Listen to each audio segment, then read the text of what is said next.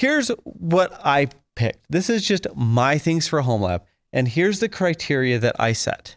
Um, I've had a home lab before that was a server rack.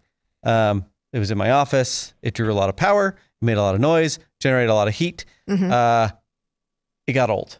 So for my home lab, I want it to fit on a desk Mhm. neatly.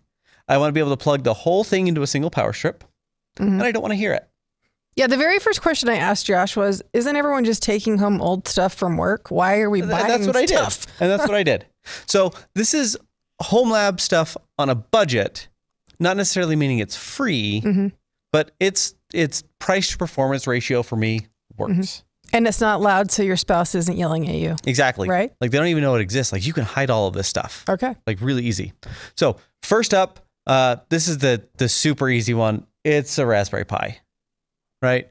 Uh, Raspberry Pis are great. They're cheap. You can do fun things with them Mhm. in a home lab setting. Run Pi-hole, run DHCP, uh, or just do something fun with the GPIO out. Hmm. Um, I also like little. They're they're not pictured here, but they're like the little E ESP eighty two sixty six boards. Um, they've got Wi-Fi on them as well. They're cool. Okay. Um, next up, this is new, uh, and I'll give credit for this one to Brooke upstairs. Uh, it's a little Asustor NAS. Hmm. This thing is cool. He does have this upstairs. He's not lying. Yeah. And here's why this thing is cool. So it comes with a it's a quad core 10 nanometer Celeron chip on it. It has 12 NVMe slots. Mhm. Okay. Um, and then it's got dual 10 gig Ethernet. Here's the thing that I like about it, right?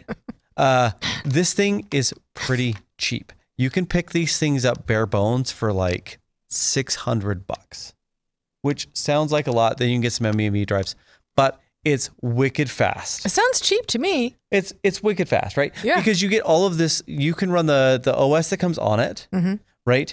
Um, or you can flash it with something like TrueNAS or whatever you want. But then you get full on iSCSI, NFS, Ceph. You can test all of the stuff you'd run at work, um, but on a smaller scale at home, and it's silent and wildly power efficient. Yeah.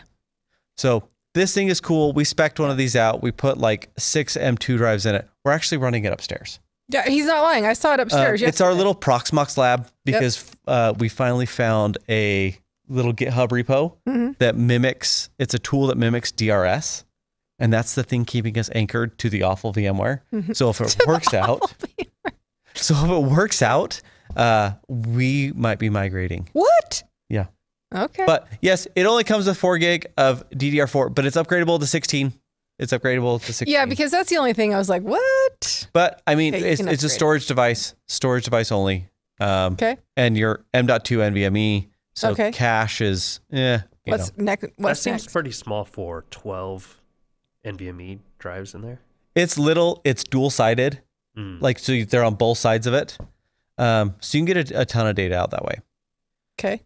Okay. Next up on the way of powerful, keep in mind this is powerful, uh, small, and quiet, is this cool company called uh, Minisforum. So this MS-A2 is a cool piece of tech. Um, it's a small Ryzen 9, Mm-hmm. um, and it comes up with up to 96 gigs of DDR5. Here's where it gets interesting. It's got dual port SFP plus on the back, Mm. plus a couple 2.5 gig RJ45 LAN ports and Wi-Fi 6E. So this one does get a little expensive. Yeah, I mean it's twelve hundred dollars, Josh. But okay, It's Yeah. it is it is a on little expensive. it's on sale.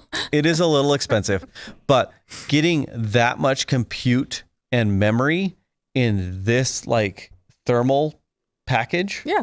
plus power draw, it's it's pretty hard to beat. Let's scroll up a little so we can see this the specs. Yeah, here, so you can see all of these. They come in a bunch of them. They come in a bunch of different flavors, right? Uh, you can get a bare bone. You can put your own in. You can buy it directly here. These things are really, really neat. Um, I think they're cool. They Yeah. come with Thunderbolt ports built in. Um, that's what I would do for compute. okay. So we're talking home lab on a budget, like all in thirty five hundred bucks, maybe four thousand dollars for a home lab that's going to last five, six, seven, eight years, oh yeah. and run all of the same enterprise stack that you'd run at work. And then what's the last thing?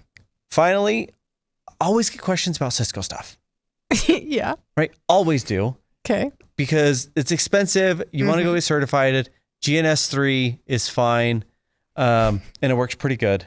Okay. But uh, maybe you want the actual hardware. Here's where you can go get some gray market Cisco. This is where Cables and found it. kits. Cables and kits. It's gray market Cisco. Uh, you can buy the Cisco switches that you'd want to go get your CCNA, CCNP, whatever you want, Mhm. um, for relatively cheap. Okay. Right? They're still loud. It's still a small Cisco switch. Uh, so like that 3850 on top for 300 bucks, it's still going to scream in your closet, but at least you have the 3850 to test on and it's the physical hardware. Okay, so why, and we, we were joking about this yesterday, and I think this is a really good point to make. Why are you suggesting Cisco for people that might be new to networking? Because I would go the opposite way. Like, get your feet wet, start with something Yeah. that has a GUI, and you're like, no, go Cisco all the way. Yeah. Explain that. Can here's you? here's my take, and it, maybe it's a hot take, maybe it's not. Mm-hmm. Um, if you start networking at the Cisco level, here's why I think it's good to start there.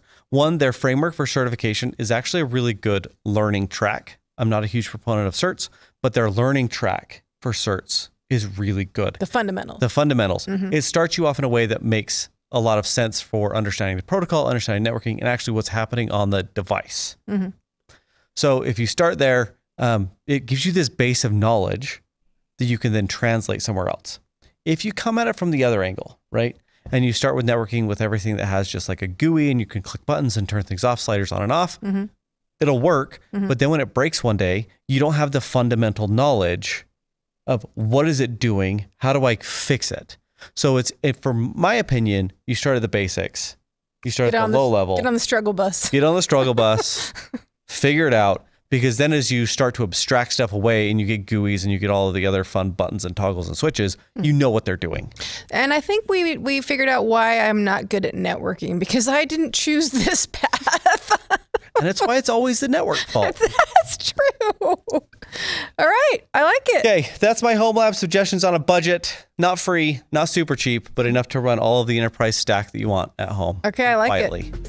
Thanks for watching this segment from PDQ Live. If you like this, you'll love the full show. Check it out every Thursday at 10 a.m. Mountain. Oh, and like and subscribe, please.